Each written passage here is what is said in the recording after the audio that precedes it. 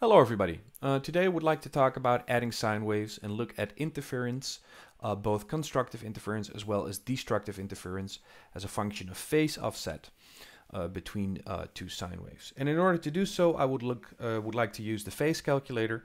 And in the heart of our phase calculator, we will find the familiar oscilloscope. Oscilloscope is time domain showing you amplitude over time, where amplitude is shown on the y-axis, uh, linear scale, no decibels whatsoever, linear scale with a zero value in the middle, goes all the way to plus 2 at the top and drops to negative 2 at the bottom. Uh, time, however, is not expressed in milliseconds or seconds, but is expressed in degrees phase. And for a single sine wave to complete uh, uh, one revolution, it has to complete a 360 degree revolution um, to be uh, to, to to get back where where it started. Um, so 360 degrees of phase um, to express time rather than seconds and uh, milliseconds. And in our oscilloscope, we have two waveforms, uh, two sine waves, if you will. There are sine wave A and sine wave B, where B is blue and the only reason that we cannot see sine wave A is because it's currently living underneath sine wave B. Sine wave B is masking sine wave A, so to speak. But if I temporarily introduce a um, phase offset uh, 30 degrees, then cuckoo, okay, now we see B shift, the blue sine wave shifted, uh, revealing sine wave A, the green one, which was living underneath it. Okay, so let's take that offset out. They end up living on top of each other again. And in the oscilloscope, we can add A and B together. And that is a simple matter of addition and uh, subtraction, primarily addition in this case. Because let's look over here at our waveforms. Uh, both A and B have the same amplitude. They have a value of 1 at that particular point in the waveform. And surely if we add 1 and 1 together, we get something which is twice as tall. And therefore the peak-to-peak -peak ratio, the ratio of this peak with respect to the ratio of those peaks is currently 2 to 1. And as you're well aware, uh, a 2 to 1 ratio, which is shown over here, uh, of the red sine wave, which is the sum of A and B together, a ratio of 2 to 1 is an increase of 6 decibels. So two sine waves that live perfectly on top of each other and are equally loud will gain uh, 6 decibels when added together with a 0 degree offset at equal loudness. These are the uh, these are the um, requirements for that 6 dB increase in level.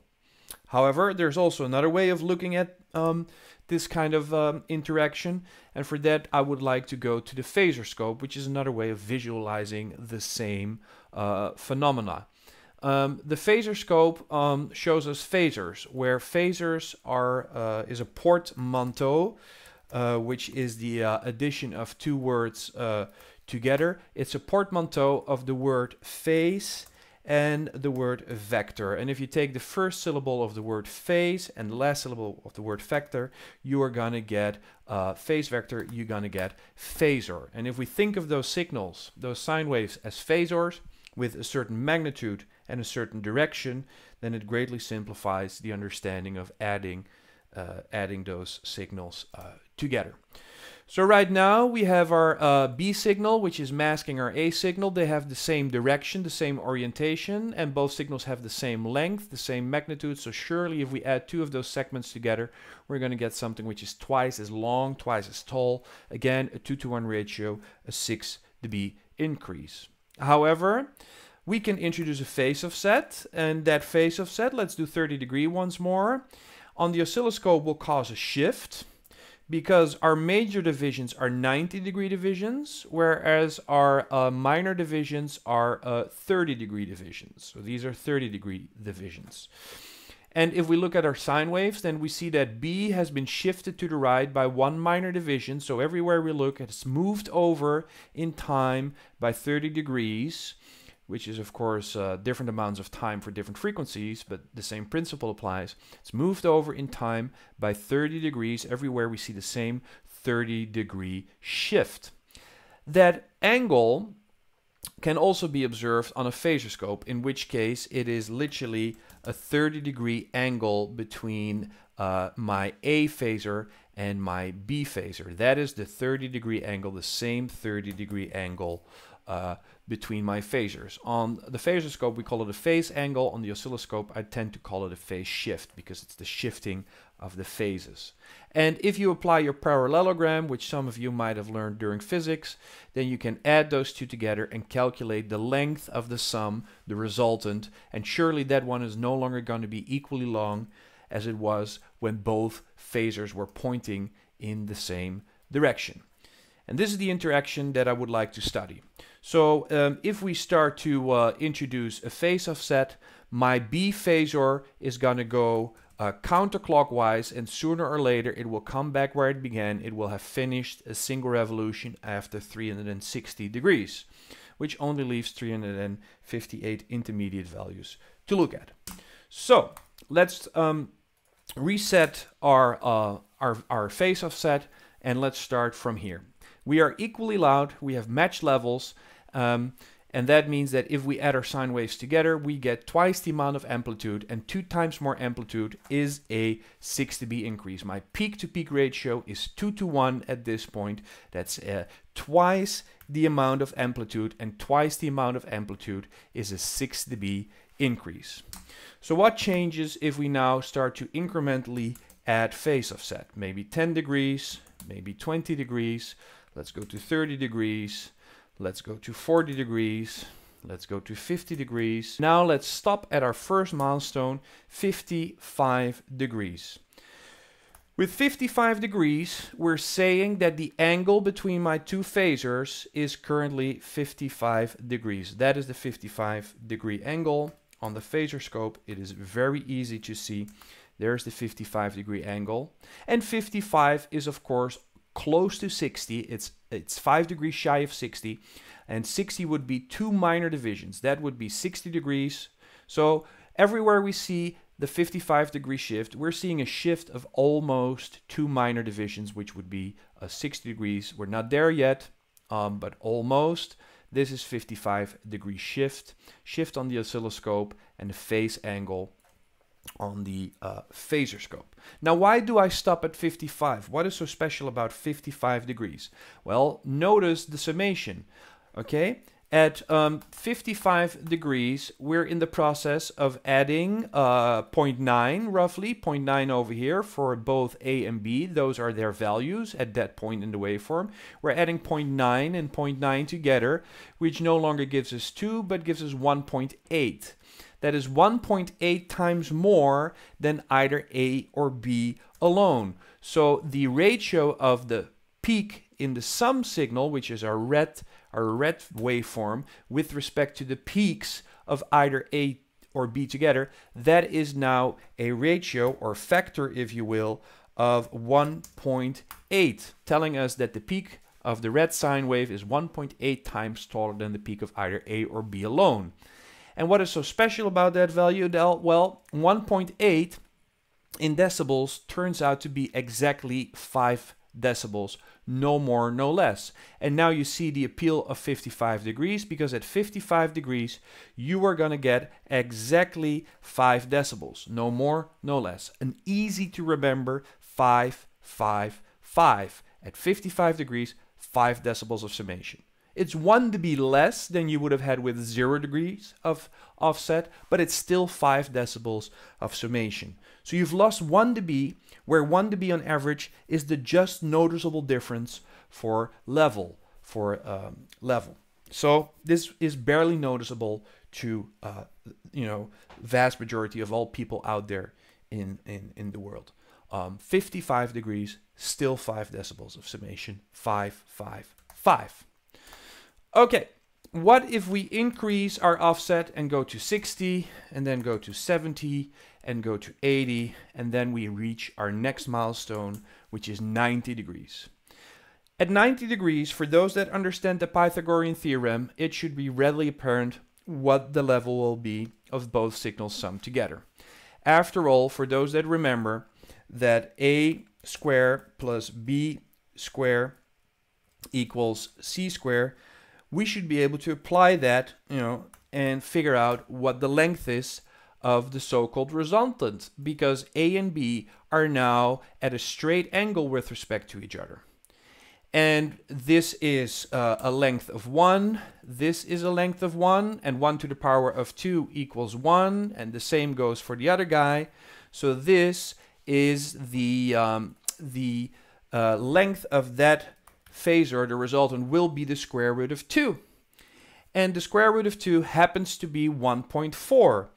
If we put that into a calculator, if we take the square root of 2 by pressing 2 square root, we indeed get 1.4. So there you see the proof of concept, okay? There is the 1.4, and that value that we have over here is also shown over here in the information regarding the sum of A and B. And 1.4 to 1 telling us that this peak is 1.4 times taller, it's about ratios, telling us that this peak is 1.4 times taller than either A or B alone. That's a factor again, a factor of 1.4 tells us that with uh, 90 degrees of offset, you only get 3 decibels of summation, no longer 6, because in order to have 6, you need to have a 0 degree offset. And at this point, you have a 90 degree offset. And there's a very easy way to remember uh, that milestone, which is to think of a clock. We all know that if this is a clock, then these arrows could represent the hands of the clock.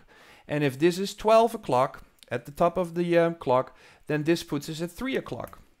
And between the hands of the clock, there is a uh, 3 dB offset. Uh, there's a, a 90 degree angle, a 90 degree angle between the hands of the clock. And that means that at 90 degrees, you are going to get um, at three at three o'clock, you're going to get three decibels. Three o'clock, uh, three decibels. That's how you can memorize. Very convenient. Three o'clock, three decibels. 90 degree phase angle, 90 degree offset.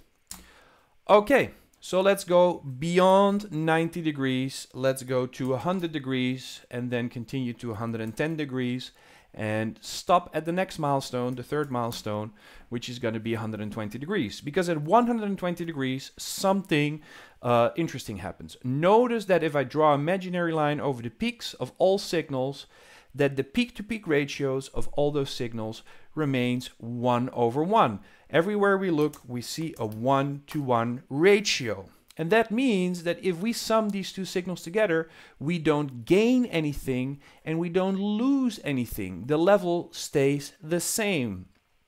It's also very easy to see in our, uh, in our um, uh, phasor scope. It's easy to see that with a 120 degree angle, this is the 120 degree angle that we're talking about, that the resultant has the same length, the same magnitude as either A or B alone. And the way that I remember this, the rule of thumb that I remember this, is that I always have to think of three-phase utility power, where the phase angle between the three phases is 120 degrees, because that is how the um, coils in the generator have been arranged. That's how I remember that 120 degrees doesn't gain you anything, but it also doesn't lose you anything. So you see you're you're on uh, the on it's the point where the scales tip from constructive interference to destructive interference. Up to 120 degrees, you have as little as 0 decibels at 120 degrees to as much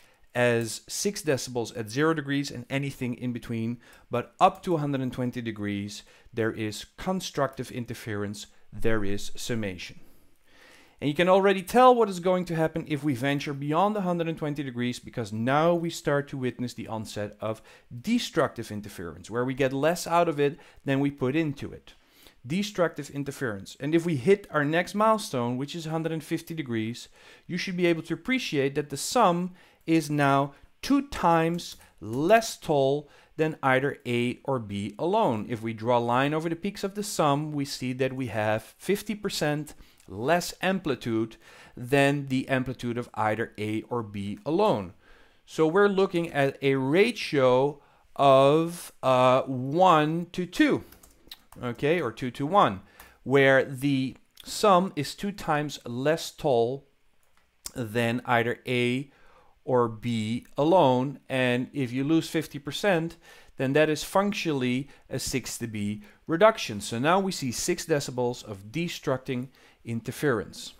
You can also see it on the phasor scope. On the phasor scope, this is the uh, 150 degree angle. There we have the 150 degree angle and notice that the resultant is two times shorter than either A or B alone. So now we are starting to lose summation destructive interference. Okay, so let's continue. Uh, let's go to 160 degrees. Let's go to 170 degrees. And then we're about to arrive at our next, next milestone, which is 180 degrees. And surely what is happening over here should no longer come as a surprise. At 180 degrees, we have sine waves that are mirror images of each other. When we have plus 1 in sine wave A, it meets negative 1 in sine wave B. When we have plus 1 in sine wave B, it meets negative 1 in sine wave B. B. Uh, and where A. And wherever we look, we see them cancel each other out. And that means that no matter where we look, we see perfect cancellation. Same is true on the phasor scope. This is now the 180 degree phase angle between A and B. And uh, I call it the tug of war. I imagine two people uh, pulling on both sides of a piece of rope. These people are clones from each other. They're equally strong, equally potent. One guy wants to go to the right, the other guy wants to go to the left. Nobody's going anywhere, and they cancel each other out. Uh, what does um, cancellation zero, because everywhere we look, we have a value of zero.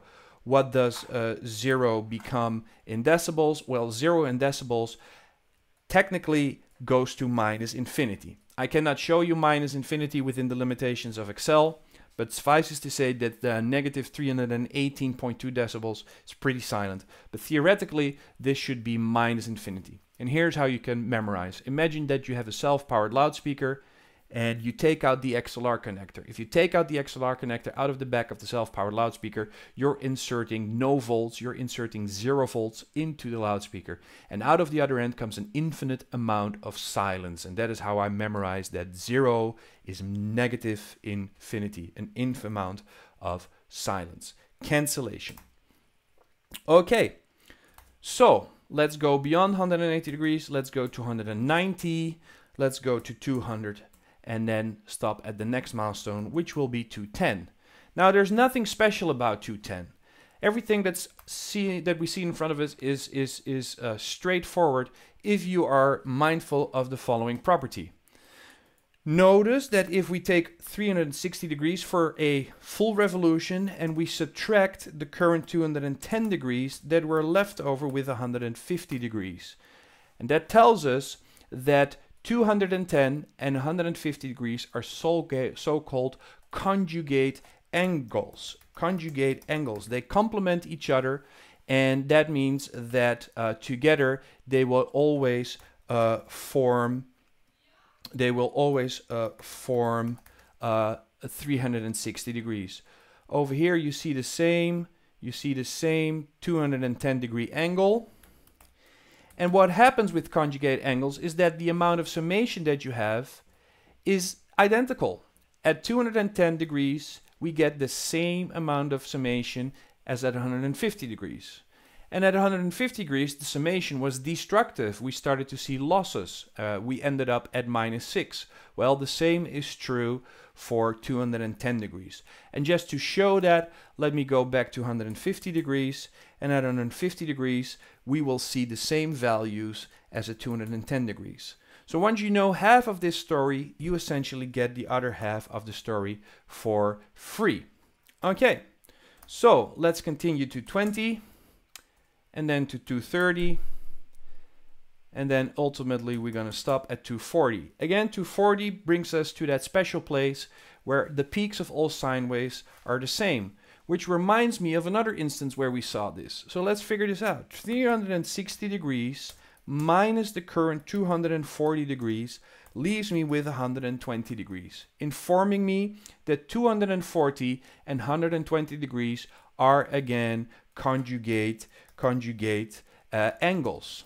And that means that if I know what happens at the 120, I can tell you what happens at uh, 240, where this is now the 240 degree angle uh, that I'm talking about. We can also see it we can also see it in, uh, in the phase shift because everywhere we look, we see that there is 120. What I am saying, this is 120, two minor divisions. This is another 120. So that is 240 degrees of shift. No matter where I look, we see 240 degrees of shift.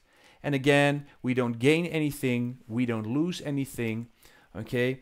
The value, the ratio, the peak to peak ratio remains one on one. So it's again at that point where the skills tip from destructive interference to constructive interference. And the resultant has the same length as either A or B alone.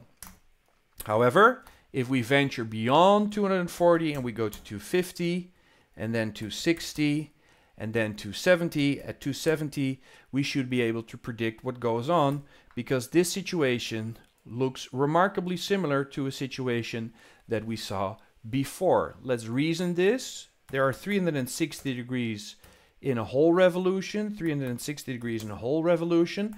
Let's subtract 270 degrees. And if I'm not mistaken, this should leave us with 90 degrees once more. And I know what happens at 90 degrees because 90 degrees was 3 o'clock. And at 3 o'clock, you are going to get 3 decibels. And these are again conjugate angles. That is the key word, conjugate angles. It suffices to only know one and then you get the other for free. Conjugate angles. So if you get 3 decibels at 3 o'clock, you are going to get 3 decibels at 9 o'clock if you will. Let's put that to the test. Let's see whether these values are indeed the same. This is 90 degrees, gives me 3 decibels. Sure, this is 270, which is its conjugate angle, and it's also 3 decibels, as we can tell from the panel containing the information about the sum of A and B. So far, so good. 280 would be the next step, and then we go to 290, and then we go to 300, and now I'm going to stop at 305. Because what is so special about 305? Well, let's see if we can reason that. Let's take 360 degrees, subtract the current 305 degrees, which leaves us with 55 degrees. And I know what happens at 55 degrees because that is 555, as in 555. 55 degrees gives you 5 decibels. 55 degrees gives you 5 decibels, easy to memorize. These are conjugate angles once more, and that means that if you know if you know what happens at 55, for which there's an easy rule of thumb, you can tell me what happens at 305. And look over here, lo and behold, at 305, we get the same 5 decibels of summation as 55 degrees. And here you have the 305 degrees of uh, phase angle between A and B. So let's prove that by alternating between 55 and 305. This is 55, this is 305, and the values do not change. That is to say, the amount of interference, constructive interference, 5 decibels, does not change. Okay, let's continue to 310, 320, 330, 340, 350. I'm 10 degrees shy of finishing a complete revolution. And by the time I hit 360, my blue phasor, my signal B, has completed a single round trip. It's once more pointing in the same direction. And for steady state, for solid state signals, if these two guys are pointing in the same direction, then 1 and 1 becomes 2, and we're back at our starting position where we have twice the amount of amplitude as either A or B alone, and twice the amount of amplitude is a 6 dB increase. You are in time 360 degrees or one cycle out of phase. In time but out of phase, 6 decibels of summation. As long as you're pointing in the same direction, you are going to get 6 decibels. If I were to make this uh, 720 degrees or two cycles, the graphics are not expected to change, again 6 decibels. However, you're in phase and two cycles out of time. If I make this 1080, the graphics are not expected to change. You're in phase, but three cycles out of time. If I make this 1440, which would be four cycles, the graphics do not change. You are in phase, but four cycles out of time. And that is uh, this explanation, today's explanation of adding sine waves and uh, looking at the, the destructive and the constructive interference. Uh, all of this can be uh, can be summarized in a single chart, which is what we call the phase wheel. When you live at the phase wheel, you will get six. When your phasors are pointing in the same direction, have equal length, are equally loud, you will get 6 decibels. If your sine waves are overlapping without any shift, you will get 6 decibels. However, by the time you have a 55 degree offset, then 555, which is the rule of thumb, 555 tells me that at 55 degrees phase offset, I get 5 decibels of summation. By the time I am at 3 o'clock, which I can easily memorize. By the time I'm at 3 o'clock, which is 90 degrees, I'm going to get 3 decibels, which is 3 decibels of summation. It's 3 decibels less than the 6 I would have had with 0 degrees, but it's still 3 decibels of summation. At 120 degrees, the scales start to tip. Where we had constructive interference before, we are now going into the domain where we start to see destructive interference. Because at 150 degrees, we lose 6 decibels, and that is called destructive interference. Now we get less out of it than we put into it. At the bottom of the phase wheel, we are at 180 degree offset, half a cycle, and now in theory we should go off the scale, we should go all the way to minus infinity to perfect silence. However, if we continue our journey, then 210 becomes the conjugate angle of 150 degrees. After all, 210 and 150 together sum up to 360, so we see the same amount of destructive interference as 6 dB loss. By the time we hit 240, which is the conjugate angle of 120, we're back at zero. So now the scales start to tip once more from destructive interference in the bottom of the phase wheel to constructive interference at the top of the phase wheel. At 9 o'clock, at 9 o'clock, we have the conjugate angle of 90 degrees. After all, 270 and 90 together make for 360 degrees. So at 3 o'clock or 90 degrees, you would have gotten 3 decibels. So at 270 degrees, you're also going to get 3 decibels.